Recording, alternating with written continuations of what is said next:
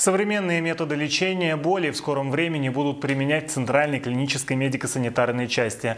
Магнитогорские анестезиологи и реаниматологи прошли двухдневное обучение у ведущего специалиста Ассоциации интервенционного лечения боли по ультразвуковым технологиям, врача-анестезиолог-реаниматолога высшей категории Боткинской больницы Всеволода Лыхина.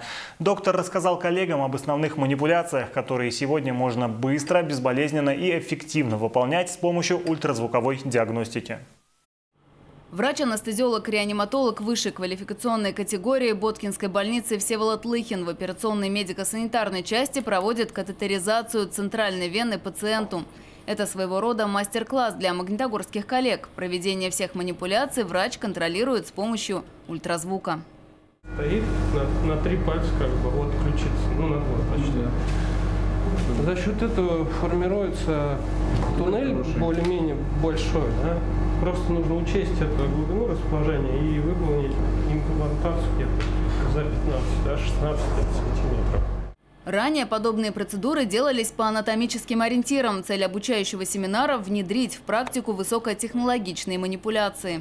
То есть сосудистый доступ – это неотъемлемая часть интенсивной терапии. И, в принципе, это такая каждодневная рутинная работа, которая, особенно если касаться катетеризации центральных вен, несет осложнение. То есть поставить катетер в крупную вену и осложнено иногда какими-то проблемами, связанными с с особенностями анатомическими.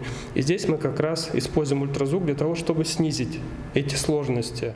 Осложнения при установке катетера по анатомическим ориентирам могут быть самыми разными. Это и пункция плевры, повреждение сосуда с развитием гематомы, травматизация тканей. За счет навигации возможность развития этих событий сводится к нулю. Научить коллег работать быстро, еще более точно и менее травматично – это главная цель специалиста из Москвы. Обучающий семинар для магнитогорских анестезиологов и реаниматологов Всеволод Лыхин проводил в течение двух дней. Курс состоял из практической и теоретической частей.